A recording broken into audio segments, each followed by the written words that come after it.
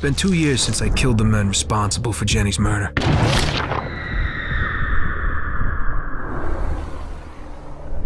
That was the last time I ever used the darkness. I keep it hidden inside me like some ugly bag of snakes. But it wants out in the worst way.